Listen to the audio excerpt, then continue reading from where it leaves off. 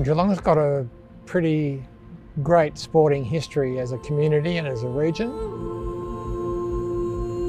Sport's been here in central Geelong for pretty much ever since the establishment of Geelong as a township. Hard to think of another place in Australia that sport plays such a significant part of the, the identity and the culture of the, the town.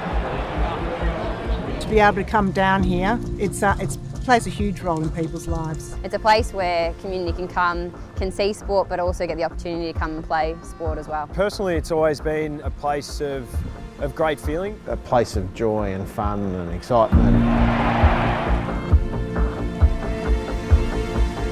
So Kardinia Park actually goes back further than the name itself. Geelong was founded as a town in the late 1830s and by the 18, early 1850s they actually started playing sport here. It was the Corio Cricket Club. The first grandstand was built in 1920. It wasn't always a football stadium.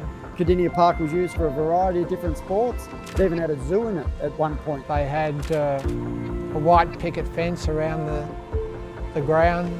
People used to knock the timber off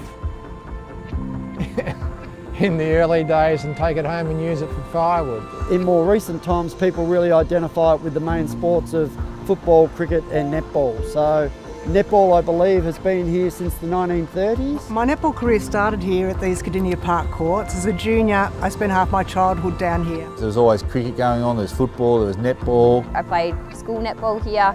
Um, obviously having a large number of courts, I think a lot of kids in the Geelong community, um, this is one of the biggest facilities to come and play netball and to learn to play. I know when I was playing at St Joseph's, it was always the best time of year was September when you had the privilege of coming down and playing four finals down here. So a huge part of Deakin as far as community outreach is getting in there and engaging with local community projects.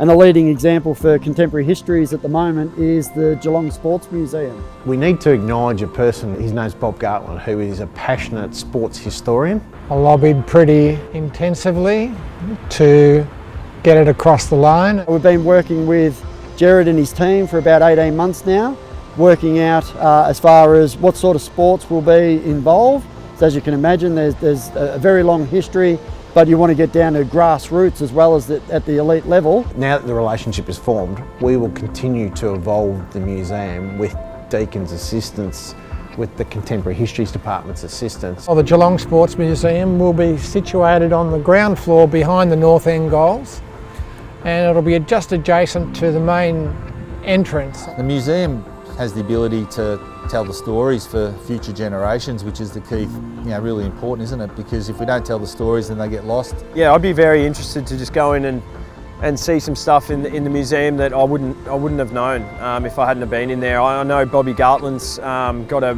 a, great collection at his house of um, cat's gear. Hopefully some of that stuff makes its way in there. There's so many fantastic stories. We have such a strong sporting history I've been really lucky to have a play a small role in some of the planning behind the Geelong Sports Museum. It's been a working party being involved of a variety of people from within the Geelong community that have knowledge of the history of Geelong sport.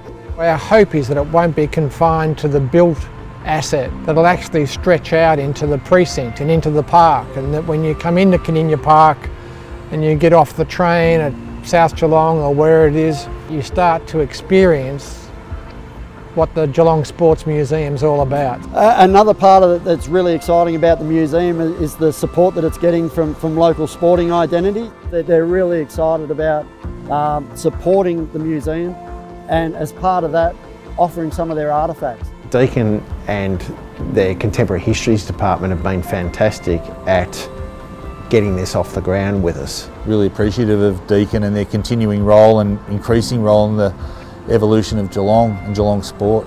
I would hope we're sitting here in 20, 30, 50 years time with the Kardinia Park Stadium Trust and Deakin having a really strong working relationship that's evolved through and via the Sports Museum.